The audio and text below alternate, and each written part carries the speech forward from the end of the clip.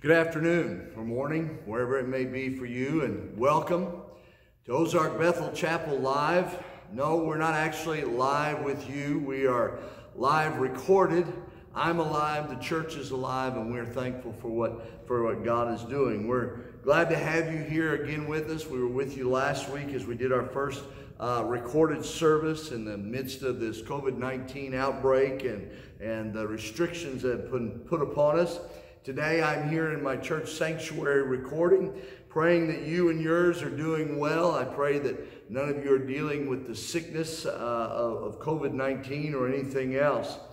I hope you took advantage before this uh, of watching the worship music that we recorded for you. Uh, if not, uh, we sent you a link and it is available. It should be right there close to this YouTube video as well. Uh, if you haven't, I encourage you to do that, to watch it before you even watch this to kind of prepare your heart uh, through a time of worship. Just a couple of songs there, not as lengthy as it was last week, uh, but just to kind of prepare you for the presence of God to hear from His Word today. Uh, I hope that you've been trying to submit to the guidelines that have been laid down by our political as well as our spiritual leaders, uh, both local and national. Uh, I believe it's for our health and our well being. We're trying to abide by that. I do want to encourage you to invite your friends and neighbors uh, by text, by telephone call to watch our, our videos. Uh, if they're not in church someplace, uh, if they're not attached to a church, this is a great time, a great place for them to just view there in the comfort of their own living room.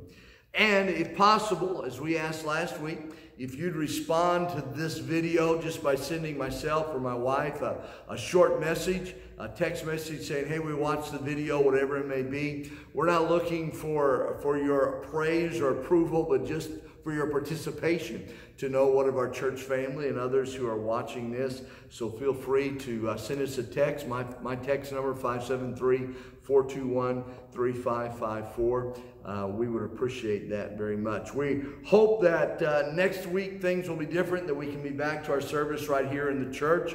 If not, uh, we are going to maybe try something different. We've heard of churches doing uh, parking lot services. And so uh, we may try to do that next week. But even if we do that, we may record it so that we can be live as well. Um, uh, at worst, we'll be right here, uh, right back here doing this recording as this. Um, let me remind you uh, that trying to pay attention to my notes, misprint there.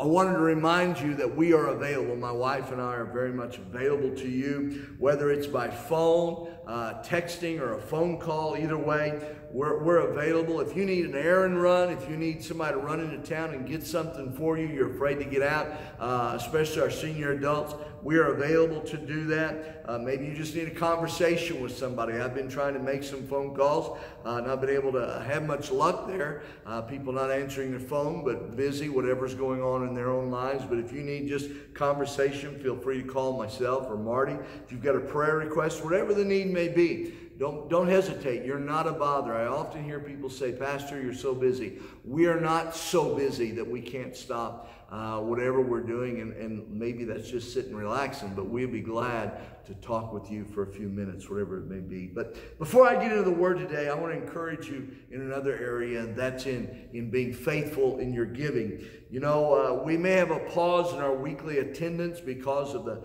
uh, COVID 19 epidemic, but the, the kingdom of God is still moving forward. The kingdom of God is still at work our place in this kingdom has not changed just because we can't meet together as a body of Christ for a short period of time. We know this isn't permanent, it's just a short time. But uh, our responsibilities within the kingdom of God remain the same as they have always been. And part of that responsibility is for us to pay our tithes and to meet our, our vows that we have made, whether it's to missions or, or some other area of the kingdom of God. So as He is faithful, I pray that you would remain faithful as well. You can mail in your, your, uh, your tithes, your offerings, whatever, to the church address 10348 State Road J, Ozark Bethel Chapel, uh, here in Roach, Missouri, 65787. You can mail that in. or you can drop it off if you're in the area. You can slip it in the mailbox. We check the mailbox. We try to every single day and bring the offerings and bring as well uh, the uh, mail in. So feel free to do that, or you knock on our front door if you want to do that as well. Uh, but we, we, we, we want you to be remain faithful in this. Now, before we get started, let's, uh, let's begin with a word of prayer today. We just want to pray for our nation, for individuals. And so we'll just ask you to bow with us in prayer. Father, as we come together right now in the name of Jesus, I may be here in this sanctuary alone by myself. But Father, I believe that you are here. Your presence is here. You said where two or three were gathered together. Father, we're as together as we can be today. Father, by video. And we pray for the anointing and the power, the presence of the Holy Spirit. God, I pray for your anointing upon me as I bring forth your word. God, do not let me stand here in my own strength, my own disabilities, Father, but God, may your ability flow through me. May the anointing, the power, the wisdom, the knowledge of the Holy Spirit work in and through me today. And Father, in every home, in every household, every place where this video is being watched, I pray, Holy Spirit, that you would draw it near to those who are watching. God, and that you would pour out your Spirit upon them and give them ears to hear. Lord, may their hearts be made sensitive to hear what the Word of God is saying, the instruction, uh, Lord, the teaching, the training in righteousness. God, give us ears to hear, we pray today. Father, as well, we pray for your work in the world, uh, the, the, this COVID 19 epi epidemic, Lord, that's not just affecting us, but affecting our entire world. Father, we pray that you would bring an end to it. We pray for your mercy and for your grace. Father, that you would give doctors and, and researchers, uh, Father, insight into what can be done to stop this epidemic. Uh, Lord, medicines that, that have already been seen to be effective, God, that they might be given approval to move forward. Father, may you work in these things. Give our national leaders, the president, Father, and the surgeon general, and all those who are involved, give them wisdom in the decisions that they are making. I pray, Father, for our spiritual leaders, for my spiritual leaders, for Pastor Don Miller, the district superintendent for our district. Father, I pray that you'd give him wisdom. Our governors, Father, and mayors, people who are in leadership everywhere, give them wisdom and direction, Lord, in the decisions they're making. Father, I pray especially for the growth of your kingdom during this time of testing. Father, it has often been that during times of trouble and trial and persecution, and, and, though I don't see this as a time of persecution, it is a time of, of trial. God, that in the midst of this, Father, uh, the kingdom would grow as it has done for in many times in the past. Lord, we love you and we're looking for this. We pray for the health of our congregants, Lord, of the people of our church, our family. God, that you would protect them, Lord, especially our seniors and those who may have health issues. Protect them. God, that this disease would not come near them, not near their household today. Father, that you would deliver. Heal those who are battling sickness of any kind. We pray for your touch and your anointing upon them. And Father, today we pray especially for peace in the midst of turmoil, peace in the midst of, of abnormality that's going on in our lives. God, we, we ask that the peace of God that passes all understanding would guard our hearts and our minds in Christ Jesus. Lord, we love you. We give you all the praise and all the glory. Jesus Christ, you are Lord of all. You are our God. You are our Messiah, our Savior. Lord, we're trusting in you today. We praise you and exalt you. Jesus' name we lift this prayer. Amen and amen. Hallelujah. You know, today we do indeed live in troubled times. Uh, we live in a time of disaster, the COVID 19 issue that's going on all around us, as well as uh, the threats of terrorism that are in our world today, economic distress, uh, especially that is taking place in, in our nation throughout the world because of COVID 19, but other reasons as well. the threat of socialism to our nation today. Uh, so called things like climate change, threats from foreign governments that may be coming against us, uh, illegal immigration issues, on and on and on. We could go with the issues. I just received a, a, a survey in the mail that was talking about some of these issues and how we thought about them. We are living in troubled times for sure. So, where do we find peace when we are confronted with such issues on a daily basis? It's so easy to become some to become anxious, to become fretful, uh, disturbed over these issues because we hear about them, whether it's on the television news or on the radio news, the talk show hosts, even music stations that, that mention these things. There's no way of escaping from it in any way. But I believe that God has an answer. I believe that He has a, a formula for peace. So today I want to share with you in these troubled times God's formula for peace in troubled times. We're going to look today in the book of, uh, of Philippians, chapter 4, verses 4 through 9. It reads like this Rejoice in the Lord always. And again, I will say, Rejoice. Let your gentle spirit be known to all men. The Lord is near. Be anxious for nothing, but in everything, by prayer and supplication, with thanksgiving, let your requests be made known to God. And the peace of God, which surpasses all comprehension, will guard your hearts and your minds in Christ Jesus. Finally, brethren, whatever is true, whatever is honorable, whatever is right, whatever is pure, whatever is lovely, whatever is of good repute, if there is any excellence and anything worthy of praise, dwell, dwell on these things. The things you have learned and received and heard and seen in me, practice these things, and the God of peace will be with you. God's formula for peace in the time of trouble. It begins with rejoicing. Rejoice in the Lord always. And again, I say, rejoice. Even in the midst of unsettling circumstances, we have much to rejoice about. Can I tell you that God is for us? Hallelujah. God is for us. He is not against us. God is not out to destroy us, but as I spoke last week, He is out to draw us near. God has eternally saved us if we have believed on Jesus Christ. He has promised us a home in heaven. Hallelujah. He is our God. As I spoke last week, He will either protect us from the dangers and the troubles, or he will bring us through those things if need be. And even perhaps he might use them to bring us to himself, to our home, to our reward in heaven. But we have reason to rejoice for far more than we have reason to fear. So I tell you today, do not be humdrum, do not be defeated, do not be destroyed, but instead rejoice in the God of your salvation. Secondly, I want to say to you today, let go of the trouble. Release it from your minds. In the verses preceding this, verse 2 and 3 of chapter 4 of Philippians, I didn't read it today, but in those verses, the Apostle Paul addresses two ladies within the church who were having conflict, who were having trouble, who were at disagreements with one another.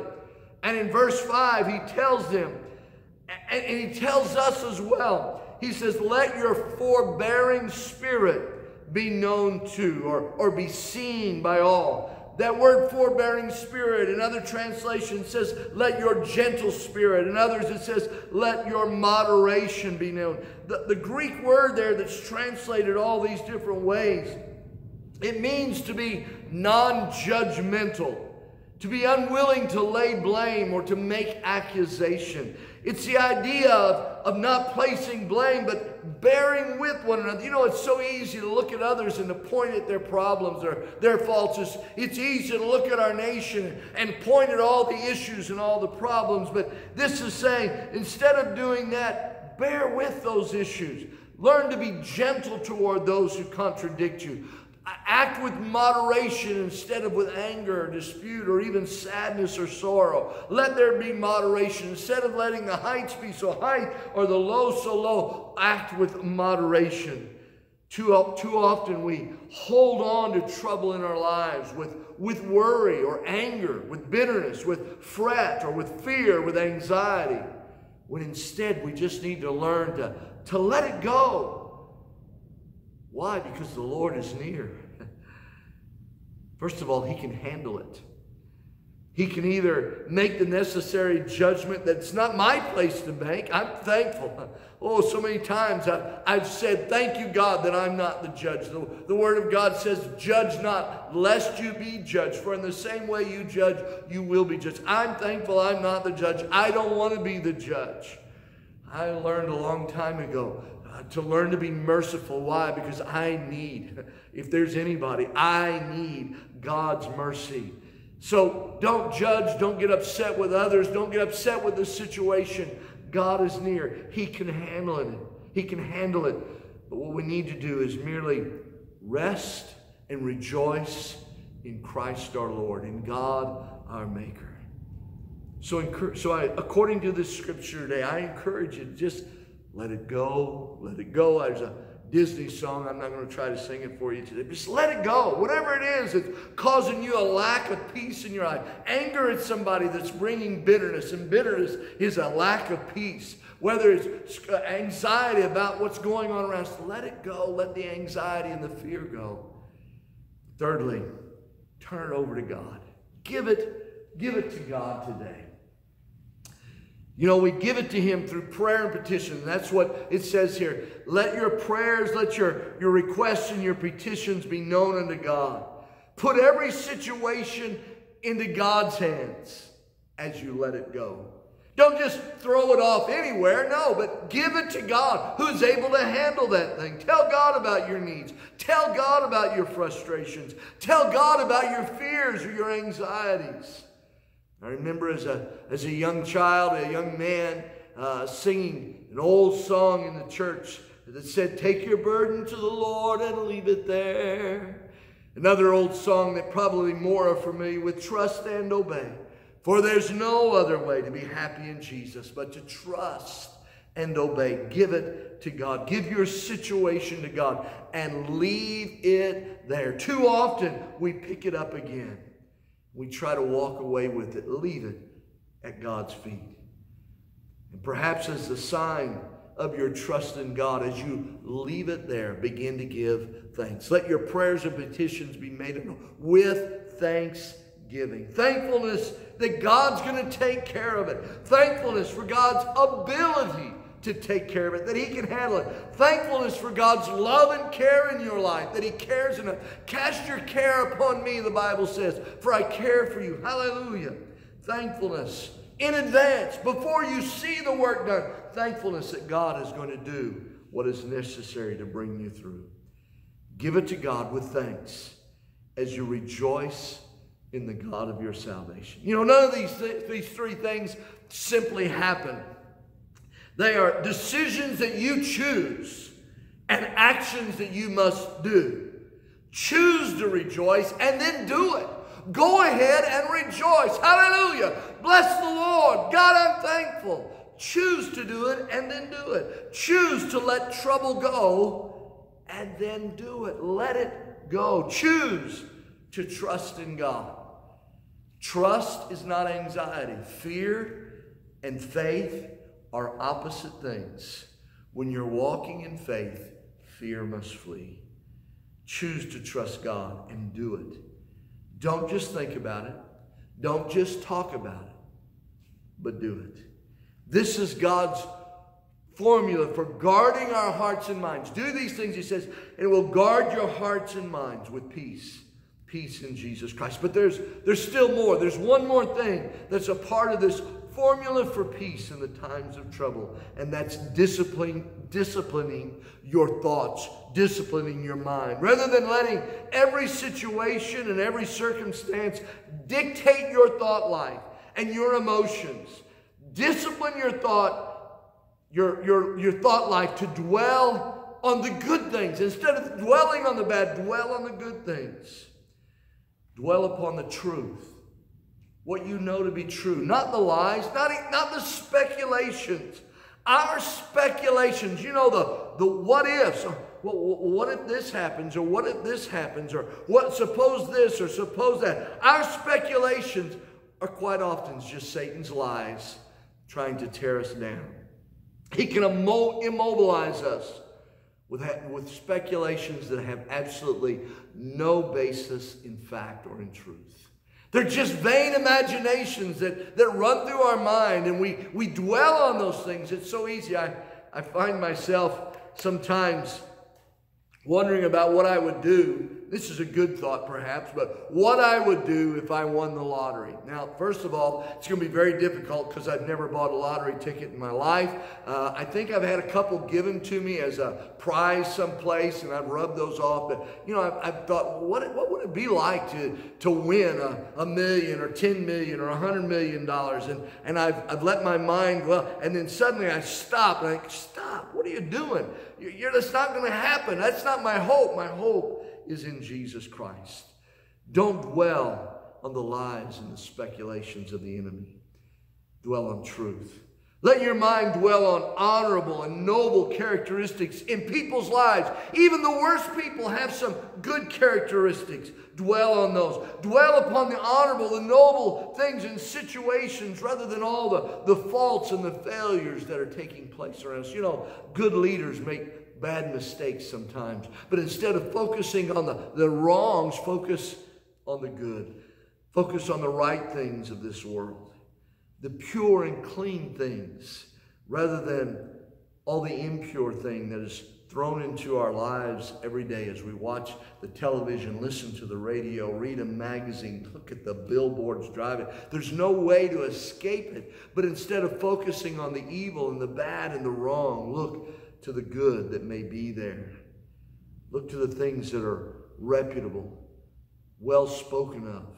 Whether it's people, institutions, think on those things rather than the things that cause you offense, rather than the things that, that, that are questionable.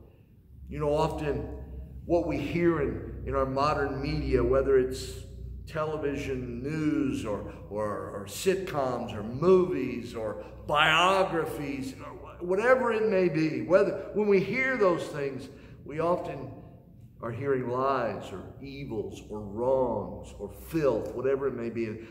yesterday we were watching the television and there was a commercial on, of all things, a commercial. It was a commercial for some cop show, some series, uh, police show. And in that commercial, in the commercial itself, there were at least three or four car explosions where a, a vehicle, huge explosion. And I asked my wife, I said, how often do you ever hear in the news of a car explosion? How often do you see breaking news, a car in downtown Springfield exploding? You just, it's very, I don't know that I've ever heard of it. But simply from that commercial, could have believed that car explosions, I mean, three or four of them there, just one right after the other. It would have made you believe that it's just a common everyday thing, car explosions. We're lied to, we're led astray. So we have to be careful about what we let in, what we bring in to our mind. And I want to say this seeing it or hearing it doesn't necessarily mean that you're letting it in if that was letting it in, we would have to go around with our ears closed, or, you know, see no evil, hear no evil, speak no eh, We can't do that. But we must discipline our minds to filter out the wrong, to not dwell on it, to filter out the impure, to filter out the unjust, the lies. You could ask my children about that filtering out process. Anytime we're watching television and some Whatever it is, it can be in a sitcom, it can be in a bio, biography, a science show, it can be whatever. And they begin to talk about millions and billions of years. I will out loud say that's a lie because it is. There haven't been millions of years. If there's been millions of years, they, they occurred according to what a lot of people want to say in the days of creation that weren't really days, they were millions of years. And if that's true, then there was lots of, of sin and death before the garden, but the Bible says that death came about because of sin in the Garden of Eden. There's no way there's millions and billions of years before the creation according to the Word of God and how it says it. That's just one instance of not letting it in. I hear it, I see it proposed everywhere. You can walk through a, a national park, state park, and, and they'll tell you about the millions of years it took for the erosion or the building up to make this land thing, whatever. The, it's not true. It's coming at us, but it doesn't have to get into us. Instead, Scripture tells us to, to practice or to dwell on in your thoughts, in your words, your deeds. To practice, Paul says, what you have learned and received and heard and seen. Listen to that again. What you have learned, what you've received, what you've heard, and what you've seen from God's Word and from godly leadership. Practice. Do these things, what the Word of God teaches us to do. And it teaches us, teaches us to discipline our thoughts, to reject the wrong and to dwell upon the right. We've got to follow through with right actions, not merely intentions. I want to show you this passage of Scripture found in 2 Corinthians 10, verses 4 and 5. It says, For the weapons of our warfare, our spiritual warfare, the weapons of our warfare are not of the flesh, but they are divinely powerful for the destruction of fortresses. What are those weapons? Part of it is this we are destroying speculations, imaginations and every lofty thing raised up against the knowledge of God. And listen, we are taking every thought captive to the obedience of Christ, disciplining our thought life, where we're letting our mind dwell. 2 Timothy chapter 1, verse 7 says this, For God has not given us the spirit of, of fear, but of power and love and of a sound mind. That's the King James Version. And that word I've got underlined there, sound mind. Most of us hear that and we think it's talking about the power of God, the love of God, and to have a, a mind that's not insane, a sound mind. But that's not what that sound mind means at all. The, the New American Standard says it this way God has not given us a spirit of timidity, being timid, but of power and love and discipline. There's that word, discipline. The Bible in basic English says it this way God did not give us a spirit of, of fear, but of power and love and self control, controlling our own thought life. And then God's Word. God did not give us cow a cowardly spirit, but a spirit of power, love, and good judgments, disciplining our thought life. The day in which we live is one that lends itself I believe, according to Satan's schemes and designs, it lends itself to fear and anxiety. That's where Satan would have us live, in a place of fear and anxiety. Whether it's over COVID 19 or whether it's about terrorism, whether it's the constant news that we see on, this, on, the, on the television, the, the crime and the evil, the disasters that are everywhere. I understand when a disaster takes place. I want to hear about it. I and maybe there's something that we can do to help. But those disasters I don't watch and then in fear that that tornado, that hurricane, that earthquake, that lightning strike, whatever it is, that it's going to suddenly be upon me. Speculations of things like aliens, speculations of giant meteors that's going to wipe us out, speculations of climate change that's going to destroy our, our, our planet, speculations of the zombie apocalypse, whatever it may be. We hear about the terror by day and the terror by night, I believe the Bible talks about. Satan wishes to destroy us, to, to reduce us into fear and anxiety, to pain caused by our own thought life. But I want you to know today God has created us for life. He has created us for life and life to the full, the Bible says. He filled us with His life. He breathed into us the breath of life there in the Garden of Eden. He, he gave us great intellect. He gave us great emotions. He gave us great abilities to be able to experience life, to enjoy life to the full. He gave us this amazing world that we live in, even though it's been touched by sin, it's been tainted by sin. It's still an amazing world. He's given us the ability to rule over this world so that we might have life to the full. I'm so thankful for all that God has given us. He created us for life. But Satan came to steal, to kill, and to destroy all that God has given to us. He did that by leading us into temptation and into sin in the, in the Garden of Eden. He brought us to a place of disobedience of God's commands. Satan tempted us and caused us to reject God's love and God's goodness, doubting that God was good all the time. Brought us to a place of brokenness in our relationship with God. God, the one who is the source of our life, broke off it from relationship with Him. That's what happened because of sin. It was Satan's scheme, Satan's plan, but I want you to know God was aware of Satan's schemes. Hallelujah. God was aware and God made a way for us to be forgiven of our disobedience and our rebellion.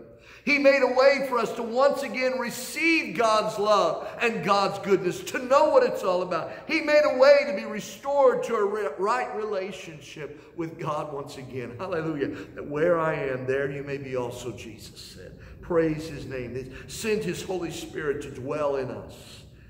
We could never reach up to God in our fallen condition. No way that we could reach God. But hallelujah, God could reach down to us. So he came to earth as a man. Jesus Christ came to earth. The Son of God came to live as a man, fully man, absolutely sinless life of, of God in the flesh.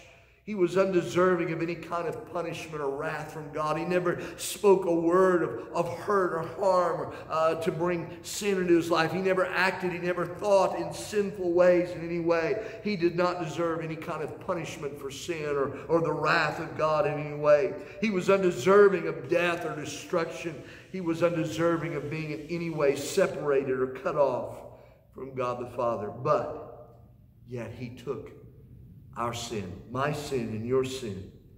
He not only took our sin, he took the punishment for that sin. He took the rejection that we deserve to be cut off from God. Instead, Jesus, my God, my God, why have you forsaken me? He cried out upon the cross because of my sin. He took our place. Listen to me today. He took our place and he gave us his place instead. We became the loved and accepted children. For as many as believe in him, as many as receive Jesus, to them he gave the right to be called the sons and the daughters, the children of God. He took our place as the sinner and gave us his place as children of God. Hallelujah. Now, through faith in Jesus Christ, we can be restored to the abundant life that we were created for or we can reject Jesus Christ and accept the eternal consequences for our sin ourselves. And that eternal consequence is damnation of hell. We don't like to talk about it. We don't like to think about it. But those who reject Jesus Christ, those who do not accept him as Lord and Savior, will spend eternity in hell. God's formula, God's means for salvation today begins with believing in Jesus Christ. That's where it begins. Believing in Jesus Christ for the forgiveness of sin. Believing that he died on the cross in your place and in my place for the forgiveness of sin. Secondly, not only to believe that, but to repent, to change directions, to be